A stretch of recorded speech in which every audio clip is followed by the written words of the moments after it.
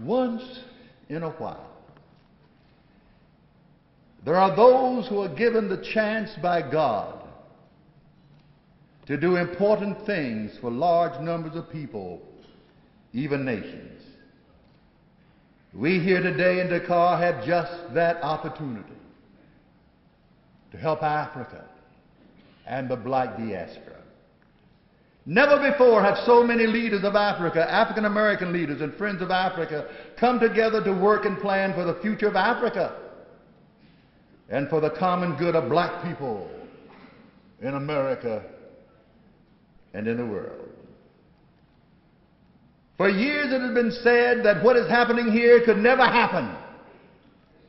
It has been said that Africans and African Americans are too divided and the gap is too wide for us to ever come together as a people. It has been said that blacks in America don't care that much about Africa and do not want to be identified with Africa. It has been said that black leaders do not trust black leaders enough to work together anywhere, either in Africa or in America.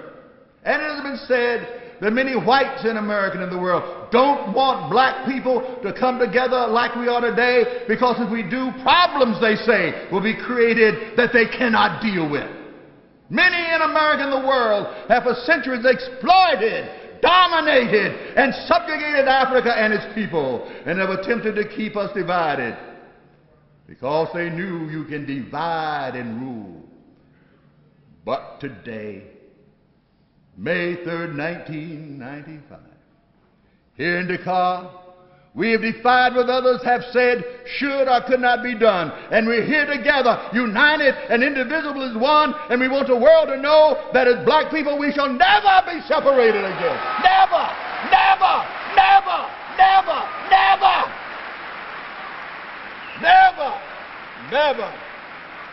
We are coming together, and you'll never do to us again what you've done before. Never.